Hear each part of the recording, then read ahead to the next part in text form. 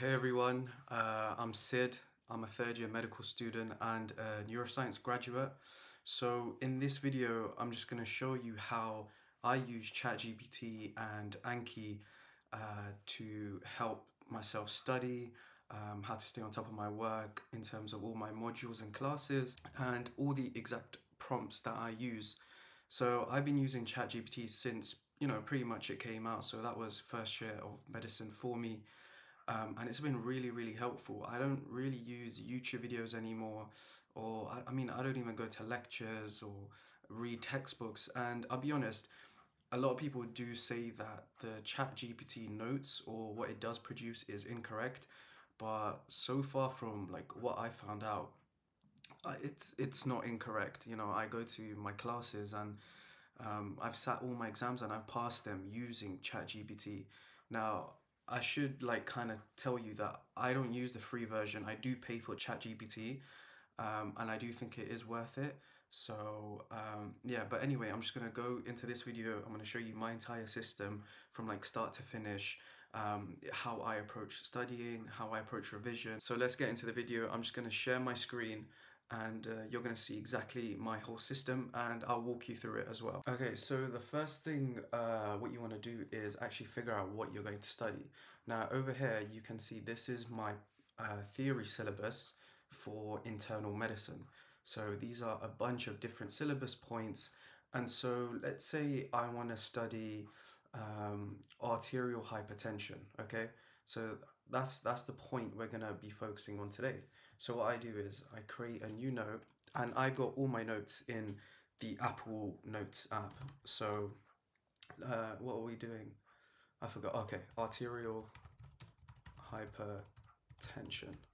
So then what I do from here is I open up my prompts and these are just the prompts that I use. So first I want to break down the topic. Now, before you start asking ChatGPT to teach you everything about arterial hypertension, ChatGPT creates information in chunks. So if you if you like overwhelm it too much, it's not gonna produce a lot of detail. So this, so let me show you what I do. So uh, let me open this on the side. Okay, so then I go to my prompts. I take this prompt, copy it, and then I paste it here. Now, so you can see from this prompt, right, this is going to break down the syllabus point into sections for me, subtopics. It's not going to explain it just yet. And it's going to do it as if, you know, like what I would find in a textbook. So this the class is internal medicine. Okay, just gonna write that up. And the syllabus point is arterial hypertension. So now, as you can see, it just breaks it down into the different sections. Um, so we'll just wait for this to be finished. And what I normally do is I'll just copy this. And once I finish copying it, I paste it into this notes section over here.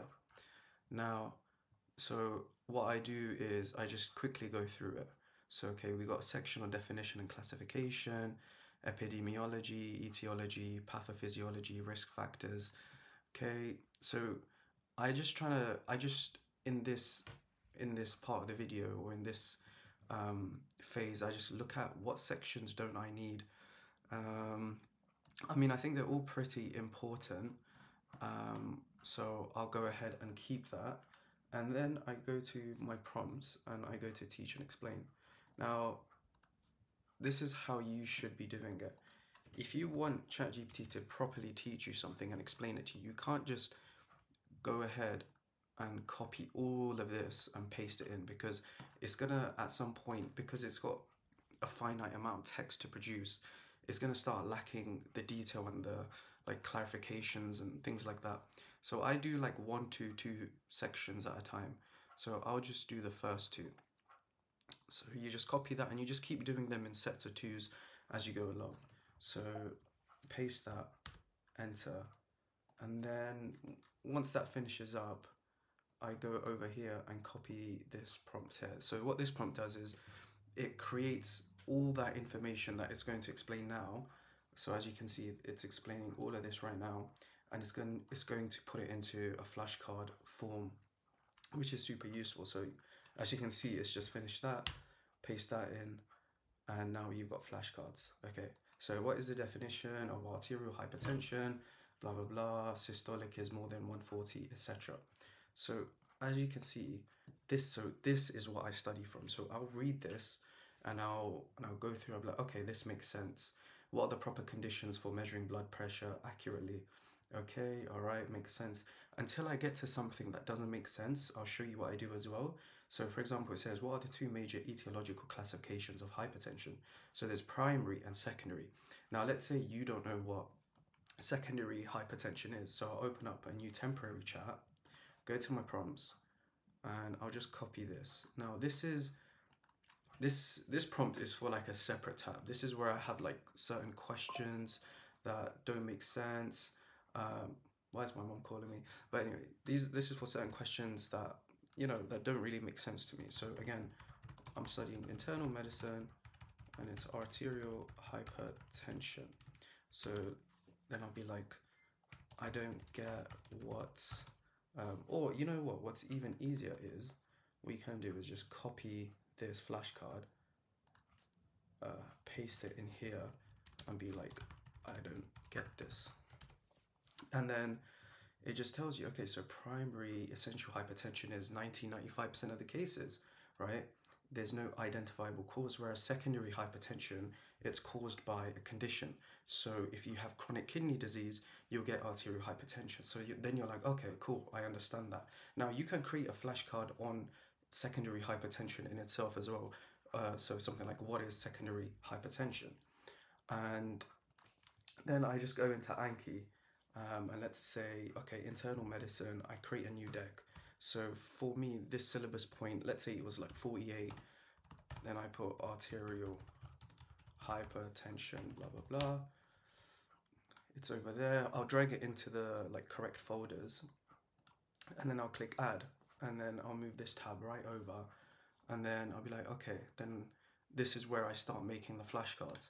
So this is this is just the system, right? And it it does work. It's so much easier to do it like this because in med school, like you expected to just read textbooks and whatnot, but this is accurate, it works, it breaks down everything, and it even makes flashcards for you. Like honestly, like it, it doesn't get better than this. Um but that's pretty much my system in like a quick summary, um, if you will.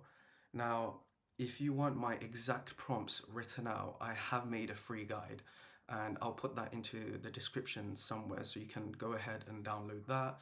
And if you are struggling with creating your own um, prompts tailored to your needs, uh, because again, like this is just for me, uh, because I study medicine, so these are very tailored to, to my kind of niche. But if you're like studying A level biology and you want prompts for that, or if you just don't really understand how the system works and you want more guidance in terms of how to set up your Anki, because if I show you my Anki, I've got a few um, like add-ons as well. So I've got this thing, it tracks your streaks. Um, I've got like uh, this thingy as well. So let, us go through like a typical um, disease. So sleep apnea, okay? Study now. If so, what's the defi- definition of sleep apnea? At episodes of complete or partial cessation um, of uh, airflow, right? And then you've got these buttons here again, hard, um, good, easy, etc. But anyway, what I was saying is, if you need more guidance, I do offer coaching sessions, um, and those are one-on-one sessions um, via like a Microsoft Teams call. Um, but anyway, yeah, I'll add all of that into the description below if you guys are interested in that. I do hope like some of this was of some use or help to you guys because it, I'm telling you, it works. So if you are like doing A levels or if you are in uni studying med or dentistry, whatever, do give this a shot. And honestly, it is worth paying for ChatGPT um, just because the free version it's so limited, right? In terms of like the detail and the capabilities of um, the free version of ChatGPT anyway. Um, but yeah, anyways, I hope you found some use from this video. Um, if you did, uh, do subscribe, like, etc. And uh, yeah, I'll see you in the next one.